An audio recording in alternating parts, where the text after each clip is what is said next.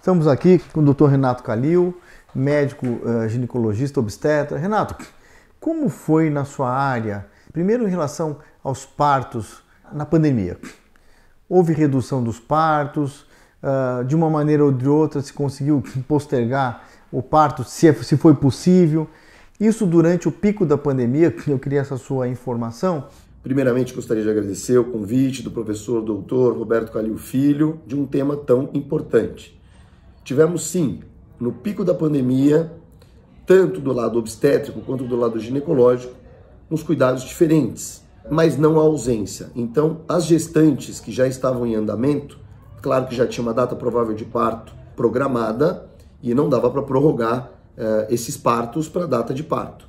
Mas sim, tivemos que tomar um cuidado excessivo, porque as informações eram carentes sobre o vírus, sobre a contaminação do bebê, se a gestante tinha uma imunidade mais baixa, se ela tinha maior propensão à infecção do vírus e às complicações. Todas as informações que recebíamos eram passadas para as gestantes, como fique tranquila, você se pegar não passa para o bebê, o seu parto não tem problema nenhum, não passará para o bebê.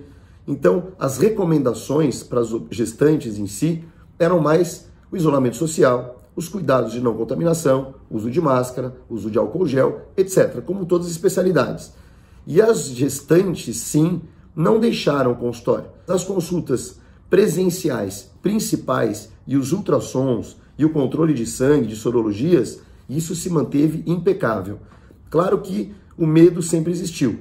E as desinformações sobre o vírus, sobre gestação, que depois vimos que, alguns meses atrás, descobrimos que passa verticalmente. Então a mãe contaminada pode passar via placentária para o líquido amniótico e para o bebê. Então isso tem um trabalho italiano perfeito e irreparável, mostrando que tem a contaminação sim vertical. Ou num parto pode pegar por uma secreção vaginal, uma secreção urinária. Nada comprovado, mas pode pegar sim. Só que a gente sabe que o sistema imunológico do bebê e das crianças é mais imaturo. E a gente sabe que esse vírus ele agride principalmente pelo processo imunológico, reacional. Então, provavelmente por isso que os bebês não tiveram complicação nenhuma, as crianças complicação nenhuma, e sim tivemos um trabalho mais importante na condução do parto.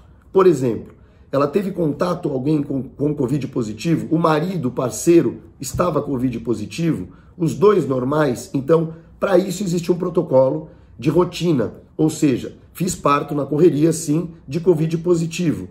Desesperador, porque tem que botar face shield, marca, máscara N95, luva por baixo de luva, avental por baixo de avental. Então, a obstetrícia, que é uma coisa meio é, de urgência ou corrida, tivemos complicações com esse aparato todo. O bebê não podia ter o contato pele a pele, mas a amamentação sim. Então, tudo isso correu adequadamente do ponto de vista obstétrico. A única coisa nessa fase é que nós estávamos proibidos de dar andamento aos tratamentos de reprodução assistida. Então, só casos graves de congelamento de óvulo, oncopreservação, a gente podia fazer. Até há pouco tempo não estava liberado a transferência de embrião. Do ponto de vista ginecológico, uh, realmente a gente diminuiu as consultas de rotina, muito mais se faziam à distância, e só as urgências, como hemorragias, dores, patologias, endometriose ruim, Agora, cirurgias eletivas, todas foram canceladas. Mas o lado ginecológico em si, só as urgências, reposição hormonal, etc. Mas a rotina, realmente, uh, nós mantivemos um, um controle muito grande para não lotar o consultório, distanciamento social. Então você atendia menos. O lado ginecológico ficou mais carente.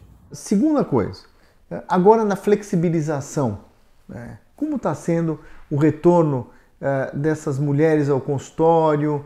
Nós sabemos que as mulheres são extremamente cuidadosas no acompanhamento ginecológico. Essas mulheres continuaram fazendo prevenção, continuaram acompanhando, ou aconteceu que nem em todas as áreas, por exemplo, que as pessoas desapareceram dos consultórios, pararam de fazer acompanhamento, isso foi muito ruim.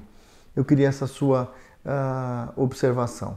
A conduta com a flexibilização melhorou muito, então as informações já chegaram, já tinham trabalhos mais importantes de como conduzir um Covid positivo numa gestante, as maternidades seguiram protocolos radicais e ficaram vazias. A falta de acompanhamento, não podia visita, não podia levar familiares excessivos, aliás, nenhum familiar. Hoje em dia, já pode a família ter visita, amamentação liberada, claro, ainda orientação Covid positivo, nada de contato pele a pele uh, e as recomendações normais. Mas na obstetrícia, agora na flexibilização, tudo muito mais tranquilo. Continua o medo hospitalar de ir a um hospital para fazer um parto. Mas a resposta hoje que nós temos de todas as internações é tranquilidade. Tranquilidade na obstetrícia.